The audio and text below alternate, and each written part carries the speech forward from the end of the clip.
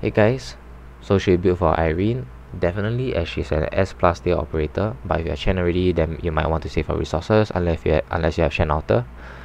Okay, and for her first talent, she can ignore 50% of the enemy defense, which she can easily burst down enemies with 5 defense.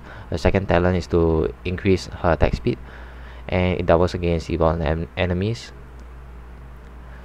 And for her skill 1, pretty strong. She can launch enemy, she, sorry, she can levitate enemies, but um, not any heavy enemies. But for skill 2, her crowd control is better and can last 2 charges, but that but the upside is that you can levitate them yeah but for the downside is that she can't hit enemies when when enemies are levitated when her skill is in use okay and for her skill tree definitely her the main skill that you want definitely a great boss killer better than Chen like 8 out of 10 times and she's especially great with Warfarin or like Skadi she's great with buffers yeah but do note that she can't kill all bosses. You might need an extra damage unit or a defender or someone to stall. Yep, and for the downsides, when enemies are levitated for both skill 1 and skill 2, she can't hit them.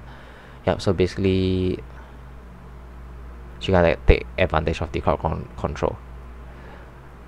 And she's pretty hard to build up her skill, especially on some stages as she mainly gets back her SP uh, sorry she mainly gets her SP charge by hitting enemies and for her module honestly the first module 70 ignore 70 defense I would say it's alright but not like a huge difference I would say her second module and third module is even better where she can increase her attack speed and attack and attack percentage.